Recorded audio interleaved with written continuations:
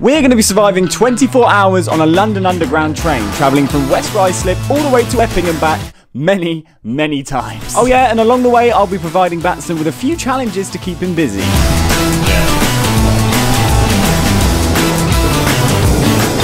That was one trip already completed and an hour and 30 minutes into our time. This is going to be horrible. We're here. We're at Epping.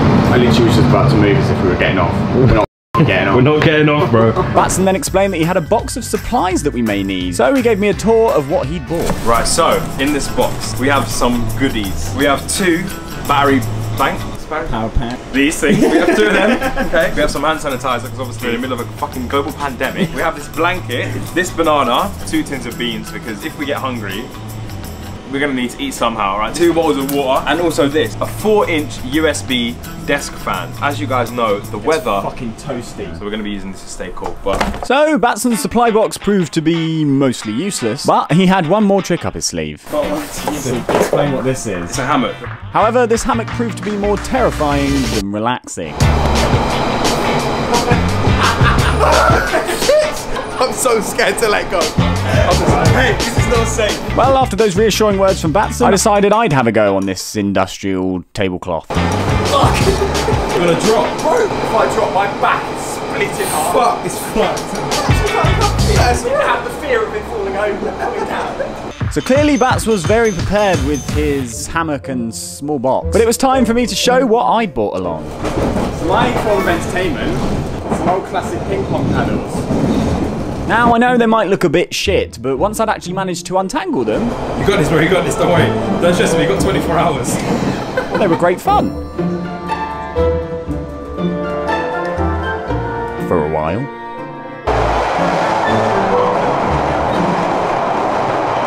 So, after destroying my boring entertainment, Batson started to get fairly tired. So I decided to try and redeem myself by proposing a game of tube ball. Tube ball, right? That doesn't sound right, does it? This is what the, all the tube bells are made of.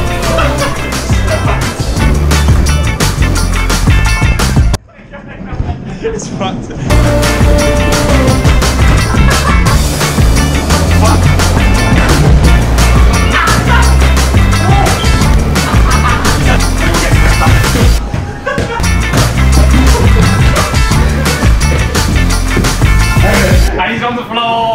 After showing off my incredible football skills, I decided I would give Batson his first challenge. Ah, convince a stranger that we know each other. I don't know how the fuck I'm gonna do that, but no worries. We then arrived back at West Ruislip Station for the second time, where Batson would be chatting to some old friends. Oh my days, Joe. Joe, are you Joe? No, no. No, I swear we last week. No, no, no, the PR party, bro. Joe Hammersmith, right? the fucking PR party. You're better than that, Bats, come on. Oh my days, Bella, right? We met last week. No, sorry. My sister's not gonna believe this. You don't remember me? Come on. Sorry, this is a really weird question. Are you Rachel? I'm sure we met last week. Are you sure? Somehow this girl has some sixth sense and she knew exactly where the camera was. Cool, nice. She don't have none of it. And so clearly, because of that girl, Batson had failed his challenge. Maybe she's been pranked way too many times. As if I went up to her and went, we're, we were filming over there, don't look at it. But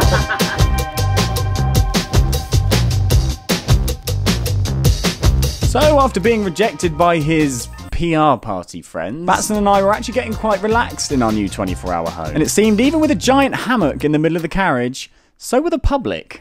I love how no one cares. Literally, Yeah. no, like, is this an everyday occurrence? Am I missing something? So, next, I thought I would give Batson a chance to redeem himself by providing him with his second challenge.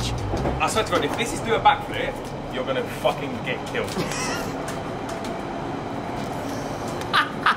Fuck sake. Right, No fucking around. You do this first. Oh, what do you think? I'm nearly there. I just do a front flip onto, onto the floor. Can you do that? Not land on my feet, I won't land on my feet. I'll just land on Is that my look? Is that? I'll just... You didn't land on your body. This train go past A and E by Yeah, yeah, done it. So we were now about six hours into our journey and getting rather hungry. But obviously we couldn't leave the train, so Batson decided to call up one of his friends to help out. Amzi, bro, I need you to get us some food. Like we're starving. We've been down here for hours. Can you meet us at like Oxford Circus? Alright, I'll see you in a bit, bro. There was just one problem though. We had chosen to meet Ams at one of the busiest stations at one of the busiest times.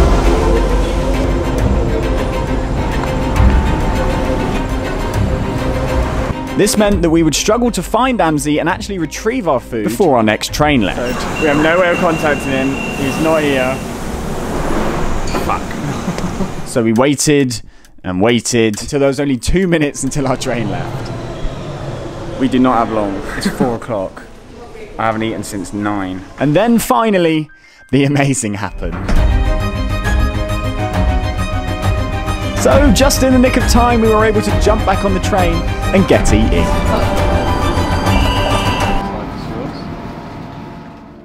Finally, our stomachs were filled, but then as the sun started setting, the tiredness really started to set in. Playing an game. The pressure gauge go up as we go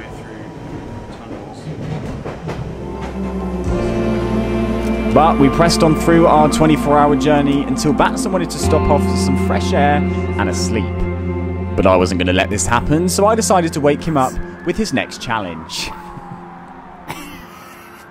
you got a challenge, oh. bitch? Open that puppy. Oh, fuck.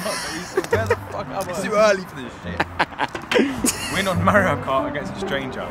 Have you fucking seen the surroundings? Does that stranger count as a fucking insect? We are the only heartbeats in this entire fucking county of Leyton.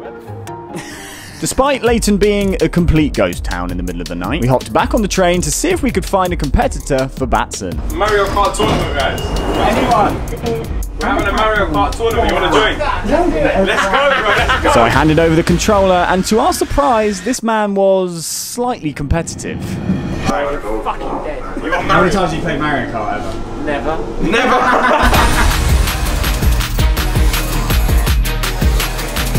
You've literally overtaken me at the last second. Oh my days. Shit's about to get real. No, you bastard. Yes! No, you fuckhead. GG. so even though Batson had won against this man, we decided to provide him with a prize anyway. Here's your prize. Your prize is to the beans, bro. Now you gotta take it home. I want to say thanks to my mum and dad for supporting me. Uh, my brother's always been there too, and look, after years of dedication and hard work, it's all paid off. I mean, as we said earlier, shit's just not real. So there we have it. Batson had finally completed a challenge and we were on our final stretch. So we decided to turn in for some sleep on the very comfortable tube seats.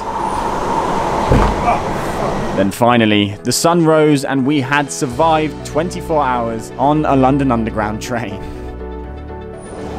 Yo, Bats. We're here. It's the final stop.